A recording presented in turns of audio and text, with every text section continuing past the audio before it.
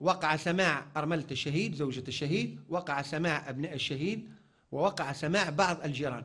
هذا ما هو موجود في ملف الشهيد محمد البراهمي هناك في إطار البرنامج الرسمي لأربعينية الشهيد محمد البراهمي أعلن حزب التيار الشعبي على أن يوم السبت الموافق للسابع من شهر سبتمبر 13 و2000 سيكون يوم التعبئة بحشد أكبر عدد من الجماهير بساحة باردو بعد الساعة الخامسة مساء وذلك بعد أن تتلى الفاتحة أمام ضريح الشهيد على الساعة العاشرة صباحا. الأمور تتجه إلى 7 سبتمبر وهو موعد أربعينية الشهيد سيكون بإذن الله يوما تاريخيا ومحطة مفصلية في تاريخ تونس.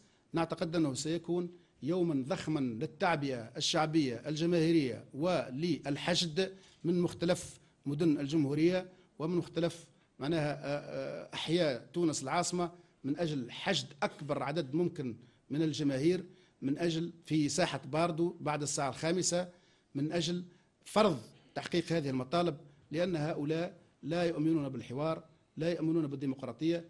الذي يؤمنون به هو الأسلوب المدني المواجهة المدنية السلمية من طرف عامة الشعب من أجل تحقيق مطالبنا في إسقاط هذه الحكومة. والله أتمنى السلامة لتونس وأتمنى أن تكون دم دماء الشهيد محمد إبراهيم آخر دماء تراق في تونس. لأنه شعبنا لم يتعود على على الاغتيالات وعلى وعلى مناظر الدماء يعني. وأتمنى أنه اللي صار معايا ومع أولادي ما يتعودش مع أي أسرة تونسية وأي أسرة عربية وأي أسرة في الدنيا يعني. من جهتهم أكد بعض أعضاء حزب التيار الشعبي عن استنكارهم للوضع الراهن بتونس معتبرين أن الأزمة تعمقت بسبب الحكومة وبسبب ما يقع داخل المجلس التأسيسي.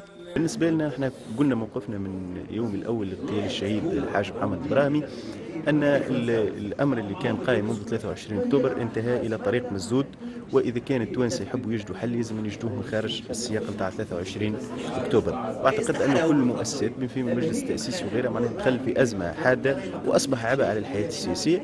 ولازم التوانسة ما يخافوش وعملية التخويف أنه ندخلوا في الفوضى ما ندخلوش في الفوضى. كي نولوا كلنا معناتها متفقين أن المجلس التأسيسي ما أداش دوره وأنه معناها انتهى سياسيا وقانونيا في الوقت هذاك نجموا نتحرروا ونجموا نفكروا ونجموا نوجدوا الحلول من غير ما نطيحوا في مطبات نتاع التهويل والفوضى. وغيرها وكذا وكل شيء مش ممكن. والدليل أنه ما عمرنا ما طحنا في الفوضى وخرجت أنظمة وتحت حكومات وما صلحت شيء. بالنسبة لنا إحنا كتيار شعبي يعني الأزمة موجودة ولا بد من الاعتراف بوجود أزمة.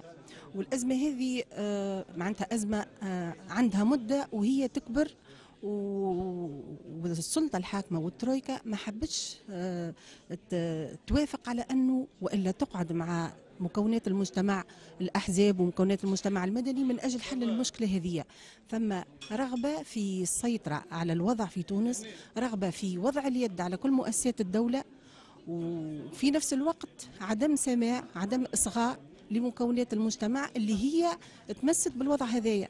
وهذا أدى إلى معنى الفجوة بين ترويكا الحاكمة وبين الأحزاب المعارضة أني بدأت تكبر وبدأت تتضاعف وهذا ادى إلى وجود الأزمة هذه. ما يحصل في البلاد فهي أزمة معناها أزمة عميقة وأزمة صحيحة وخطيرة. ابتدأت منذ انتخابات 23 أكتوبر منذ أن جاءت حركة النهضة للحكم أزمة الوضع الاجتماعي للبلاد أزمة الوضع الاقتصادي والوضع السياسي للبلاد بتعلة الشرعية التي نعلم نحن أية شرعية هي. هي شرعية المال السياسي الفاسد هي شرعية الرشوة هي شرعية العمالة للأجنبي. عائلتي الشهيدين شكري بالعيد ومحمد البراهمي لا يزالان إلى اليوم في انتظار معرفة حقيقة ما حصل ومعرفة من وراء هذه الاغتيالات. لكن ما يحصل على الساحة السياسية اليوم زاد من تعميق الأزمة. إذ كثرت قضايا الاستشهاد في الشعامبي وغيرها مما يجعل القضاء مشتتا بين هذا وذاك لاستجلاء الحقيقة.